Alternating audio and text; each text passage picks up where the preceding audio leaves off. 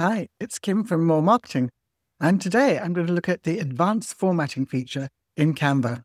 Let's quickly go over to my screen and we'll take a look. Advanced formatting covers things, as you can see, like superscript and subscript, and also does kerning and ligatures.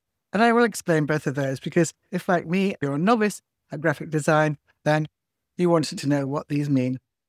Advanced formatting is a new feature in Canva. It came with the latest update, and it's available for all levels of accounts. Let's start by looking at the very simple ones, which are superscript and subscript. And this is a really useful feature and hasn't been available on Canva before. I'm going to click on the text box, and you now should see a new button, which has two options. The first one is general, and the second one is typography. We'll look at the general one to begin with, and this is subscript and superscript. First of all, I have to highlight the letter or element that I want changed, I then click Advanced Formatting. Under the General tab, you can see I've got my superscript and subscript. I just click on that, and you can see it's straight away gone to superscript. I'll now repeat the exercise for subscript and just do that. And it does it perfectly. If I want to remove that, go back to the Advanced Formatting tab and click on the larger one, and it goes back. As I was playing around, I found you could do something different with words as well. So let's put superscript into superscript. I'm going to highlight the script part of superscript, go to my advanced formatting button,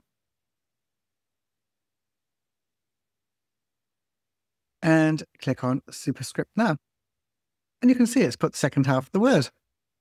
I'm now going to do the same for subscript and highlight the script part.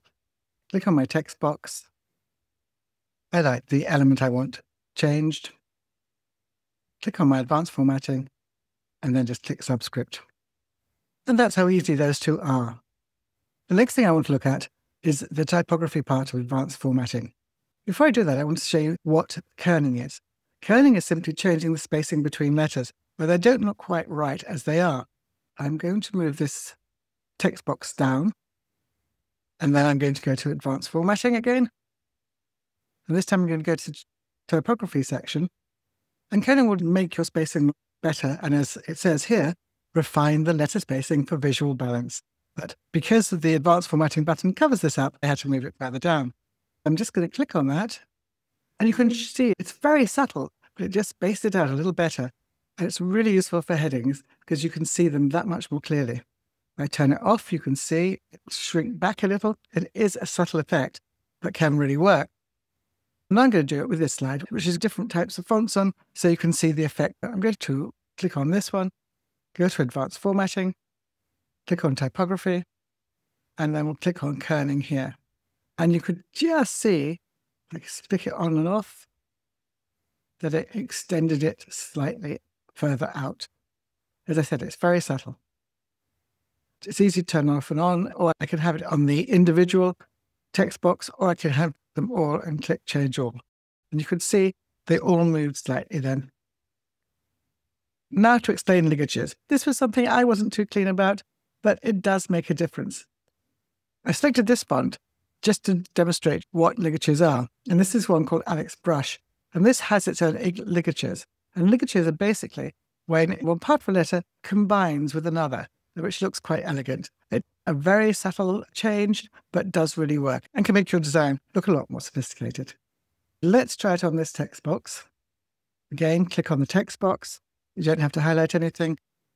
Go to advanced formatting, typography, and then ligatures. Now you have to watch closely, and I'll do it a couple of times so you can see it. I think I need to pull this down so you can see it better.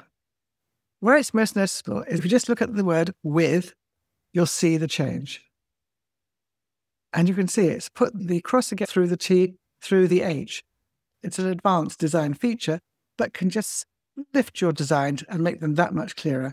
And as it says, combines specific characters elegantly. The subscript and superscript were a well overdue change, I think, but it's great to have it now. And then on typography, kerning, and ligatures. Play with them, see whether they work for you, and I'll see you next week. I hope that helped. And if you found this video useful, then please do hit the subscribe button below and you'll know when I record a new one.